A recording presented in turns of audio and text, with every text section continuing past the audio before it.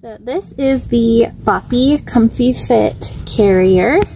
Um, little Boppy logo. Um, I'm going to show you what I did to nurse in this carrier.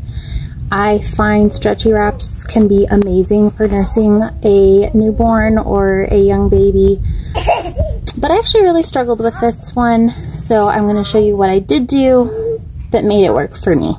So one thing that makes this a little more difficult is it has this shoulder strap that goes around that you cannot adjust at all, which was very frustrating for me. But I did find that I could loosen. You may need to slightly lower your waistband. And then if I would take this and kind of just, I'm keeping the knot in there, but I'm loosening it.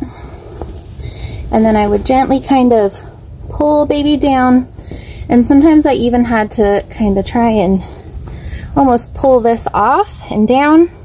And then I could lift up and latch baby on. Sometimes, like this is not obviously a real baby and it's not a weighted doll. So the weight's not staying down, but you can, sometimes what I would do is I'd have one hand in there and kind of keep it pulled down a little bit to nurse. Or once my baby was a little bit heavier, I was able to just like have their weight keep them held down.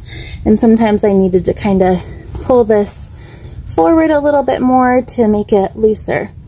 But I found I was able to do that without fully like taking baby out of the carrier. And I hope if you are trying to nurse in this that you are able to make that work for you. And then once I was done, I would just kind of go back in and position it all back up and get it back tight again. But yeah, let me know if you're having any trouble and hope maybe I can make another video to show a little bit better. And hopefully in two more months exactly, we will have a real baby to show these things with.